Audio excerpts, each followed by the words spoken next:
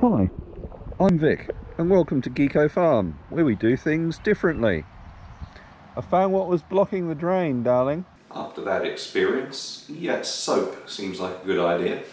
So um, we're going to make some, because we make olive oil, and olive oil has been used for centuries to make some stuff called fine Castile soap. Now, I can't promise fine Castile, but I can promise soap. Um, I'm going to use this container here, which I've put the weight on the side of, so I know how much olive oil there is in it. I have here some olive oil. Um, now, this one has got some uh, chunks of lavender in it, and uh, they've been sitting in there to make it smell more like a soap and less like a salad dressing.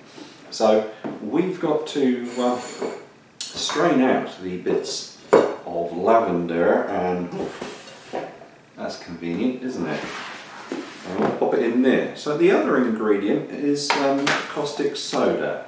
Uh, so while this is all draining and everything I will be donning up protective gear because caustic soda is something you want to keep out of your eyes and indeed off your body as much as possible. There Let's let that drain for a while, then we'll weigh it and figure out how much caustic soda we need. By the way, we're not using the nice olive oil to make the soap. We're using the crud out of the containers from about oh, four or five years ago. Tastes um, pretty much like supermarket olive oil, um, but it still makes good soap. And we're back. And if you hear funny noises, there's a dog behind the camera and I haven't got the heart to kick him out. Okay we have protective gear. If you are going to handle caustic soda like a real rough tough man with no gloves I strongly strongly urge you not to do it while your hands are wet or sweaty and to have a sink or bucket of water nearby just in case. Okay right.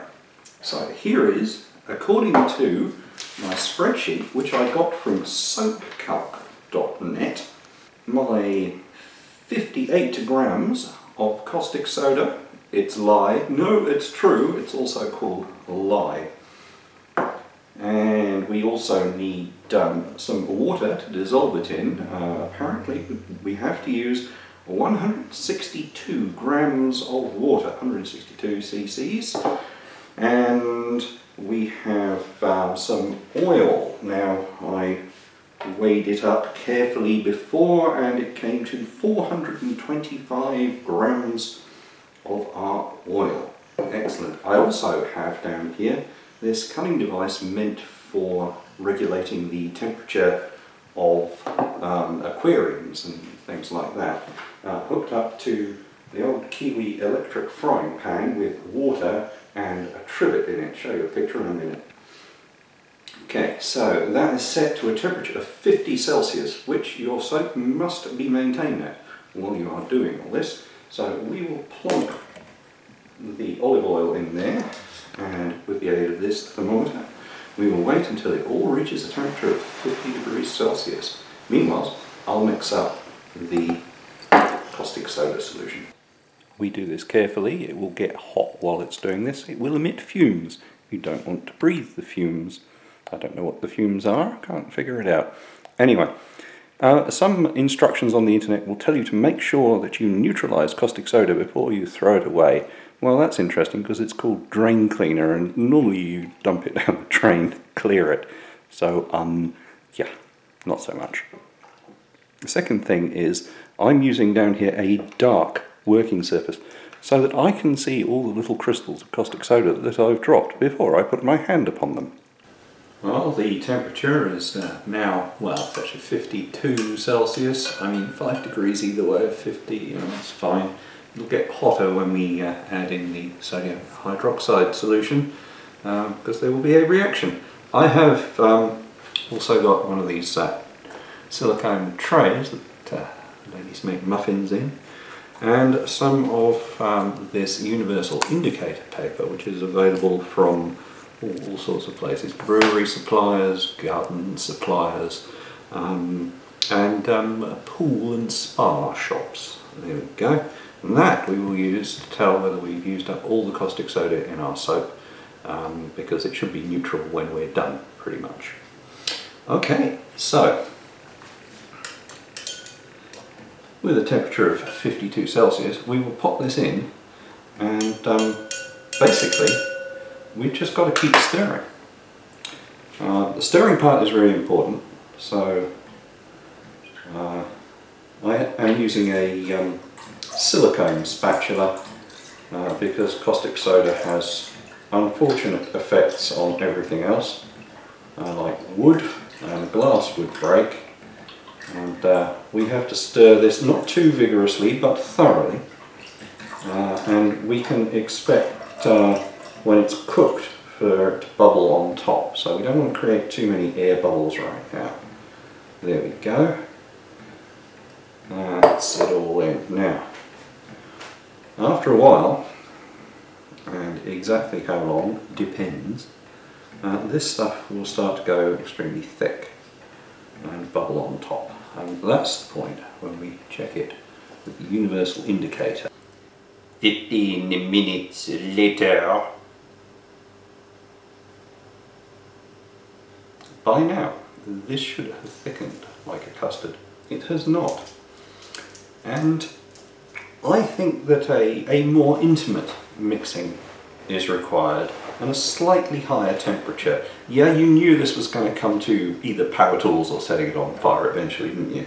Okay, so um, I've upped the temperature to 54 on the little gizmo down here. Um, and uh, yeah, one stick blender.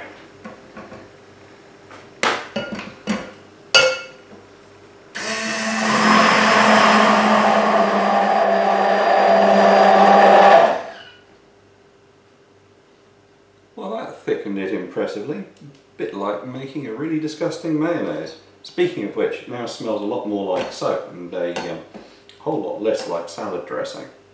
So I guess as the uh, the oily components are destroyed, the um, the uh, what was it? The oil of lavender that is in there comes more to the fore.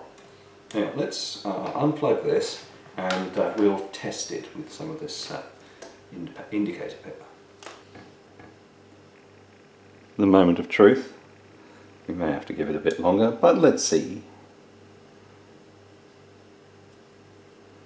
And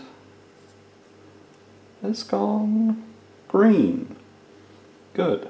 As long as it doesn't go, it's a boy! I think we may have achieved soap. Alright, let's cast it into moulds. See, blue, it's a boy. Yeah, that's far too alkaline. Ours is down here, seven, eight, yeah, maybe a little bit alkali, but this is going to carry on reacting um, while it's put to one side for, hmm, I don't know, four, six weeks, something like that. Um, until these cakes of soap, rather than cakes of muffin, um, turn into little rocks. And uh, then I'll use them in my shower. I won't um, show that because I don't want to be banned from YouTube. So there we go. I suppose I could have got half a dozen of it if I'd portioned it out more, uh, more neatly. But hey, I'm doing this in front of a camera. Last time I made soap was, well, best part of 30, 40 years ago, so cut me some slack. I haven't broken the glassware yet I'm shaking like a leaf trying to hang on to the damn thing because for some reason it's damn slippery. Can you figure that out? Hmm.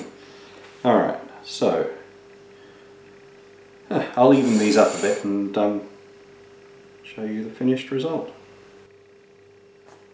So as anyone who's watched the movie Fight Club knows, and if you haven't seen Fight Club, see Fight Club, um, we have used uh, the caustic soda, the lye, to split the oil in olive oil into um, fatty acids and glycerine, which I then use in the movie to make nitroglycerine.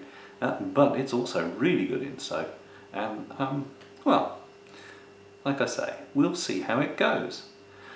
But until then, and I assure you I will wash in the interval, that's your lot down on Geeko Farm.